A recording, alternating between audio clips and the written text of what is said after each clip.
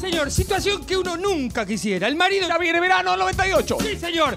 Llega el marido a la casa y está la mujer con el sodero. Ay, qué feito. Ah, me mató, me mató. Feo, feo, feo. La mujer con el sodero. Qué feo. Sí, señor.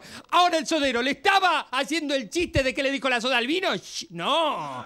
¿Estaba pateando penales? No. Tampoco, estaban haciendo eso, señor Marcelo. Ay, qué- El marido desgarrado, querida, ¿por qué haces esto? Es que no nos alcanza la guita. Así le pago al sodero. Oh.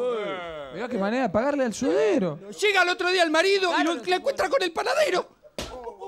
¿Estaban haciendo un bizcochuelo? No. ¿Estaban comentando verano del 98 el último? No. No, estaban haciendo eso de nuevo. Querida, ¿y esto por qué lo haces? Es que estamos muy mal de plata, mi amor. Así también le pago al panadero. ¡Ah, la pelota! Panadero también le pagaba así.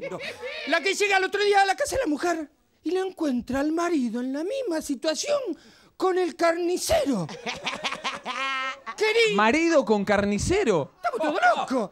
Querido, ¿y vos por qué haces esto? Y bueno, yo quiero ayudar con los gastos de la casa, yo.